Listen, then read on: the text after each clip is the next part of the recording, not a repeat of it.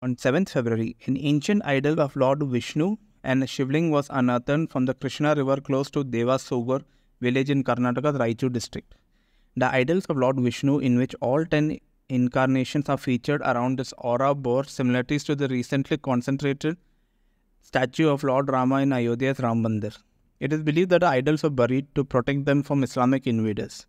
The idols were found at the riverbed during the construction of a bridge on the Krishna River near Shakti Nagar.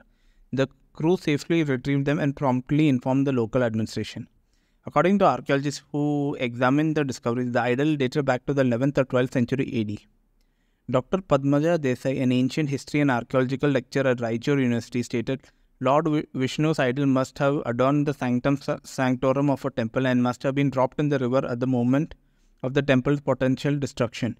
She added the idol found in the Krishna basin exhibits unique characteristics and highlighted that it is surrounded by an arc depicting, depicting the Dasavatara uh, or 10 incarnations of Lord Vishnu, including Matsya, Kurma, Varaha, Narsimha, Vamana, Rama, Rama, Parshurama, Krishna, Buddha, and Kalki. The Ram idol installed in the Ram Mandir uses the same design. The idol is surrounded by the ark with depiction of the Dasavatara and other gods.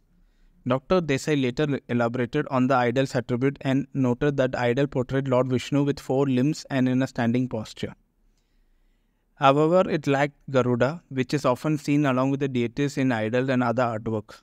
Instead, there's a pair of women holding fans. She noted that this statue was represented as smiling Lord Vishnu with uh, garlands and other decoration because he is fond of them.